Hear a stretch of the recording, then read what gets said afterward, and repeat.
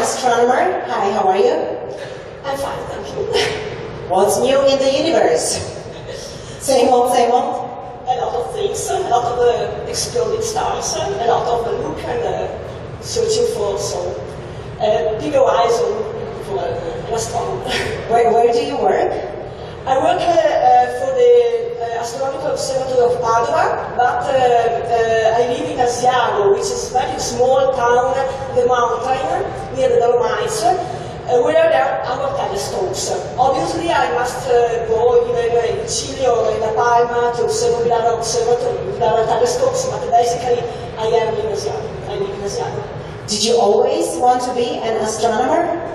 No, uh, I born in uh, 1989 with a biology uh, project.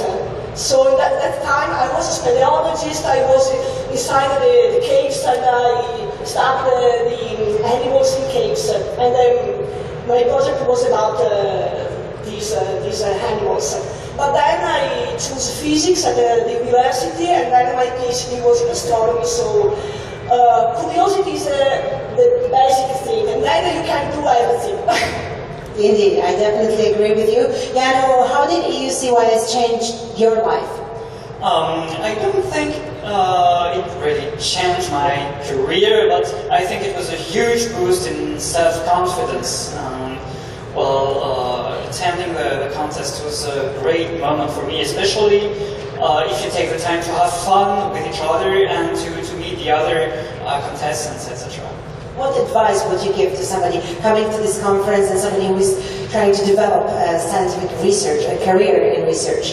Okay, science is hard work, is long work, but please don't forget the excitement. Don't forget the mystery. You want to understand something, you want to get a result. 99% of the time it's not working, but then it begins to work.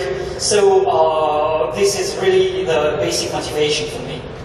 Thank you very much, guys. Thank you very much for coming here. And are you going to enjoy Bratislava? yes, I think so. We have a lot of work to do in the. I just remember, but I think we will have a little time to have a look and uh, to, to go for work. Great to have you here. Enjoy yourselves. Thank you.